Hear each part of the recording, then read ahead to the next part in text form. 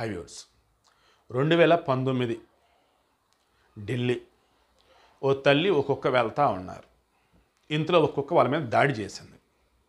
చేతికి మోక ఈ చేతికి అండ్ మిగతా బాడీలో కొన్ని చోట్ల గాయాలైన ట్రీట్మెంట్ జరుగుతున్న మూమెంట్లోనే వాళ్ళు కేసు పెట్టారు. కేసు తెలిసిందే ఇప్పుడు రెండు వేల పంతొమ్మిది ఇప్పుడు రెండు వేల ఇరవై మూడు ఇప్పుడు తీర్పు వచ్చింది.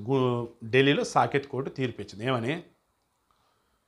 కుక్కలకు సంబంధించి. యజమానులు ఎవరైతే ఉన్నారో వారి నిర్లక్ష్యం వల్లే ఆ పెంపుడు కుక్కలు వేరెవరిని కరుస్తున్నాయి. కాబట్టి యజమానిదే తప్పు.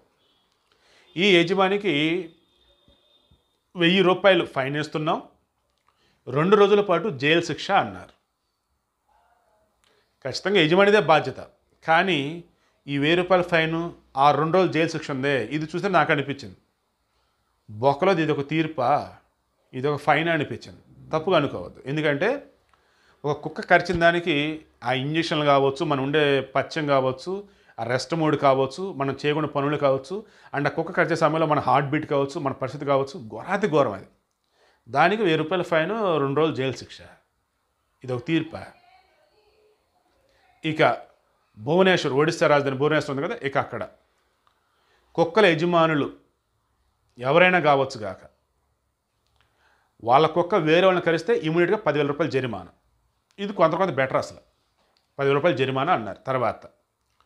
కుక్క సుస్సు పోసినా ఇది ఎక్కడైనా వదిలినా క్లీన్ చేసే బాధ్యత యజమానిదే. కాదు కూడా వదిలేస్తే తీసుకెళ్ళి లోపలేస్తాం. తర్వాత పెంపుడు కుక్కలు పెంచుకుంటే కొంతమంది ఏం చేస్తారు? మధ్య మధ్యలో వదిలేస్తారు రోడ్ల మీదకి. ఇక మేము పెంచనారో బాబు అని చెప్పేసి. అవి ఏం చేస్తున్న అప్పటి వరకు హ్యాపీగా పెరుగుండి. ఇక రోడ్ల మీదకి వచ్చేసి జనాలను కరవటం పిచ్చి పిచ్చి పనులు చేస్తా ఉంది ఇదో పెద్ద సమస్య. అలా పెట్ యానిమల్స్ సంబంధించి పెంచుకునే వాళ్ళు రిజిస్టర్ చేయించుకోవాలి. ఎప్పటికప్పుడు వాళ్ళ కుక్క స్టేటస్ ఏంటనేది మేము చెక్ చేస్తూ ఉంటాం. అవి వాళ్ళ దగ్గర లేవు రోడ్డు మీద వదిలేసి చేస్తే అప్పుడు కూడా తీసుకుని లోపలేస్తాను అన్నారు. సో జంతు ప్రేమికులు ఎవరైతే ఉన్నారు నిజంగా మీరు ప్రేమ ఉంటే పెంచుకోండి. లేదంటే సైలెంట్గా ఉండండి. లేదంటే హ్యాపీగా ఫుడ్ పెట్టండి. రోడ్డు మీద ఉన్నట్టుకైనా మిగతా ఎవరికైనా. అంతేకాని రోడ్ల మీద అలా వదిలేయకండి. తీసుకెళ్ళి ఈసారి అయితే లోపలేస్తారు. మన తెలుగు రాష్ట్రం కూడా అటువంటి చట్టాలైతే అయితే రావాలని చెప్పేసి కోరుకుంటూ ఉన్నాను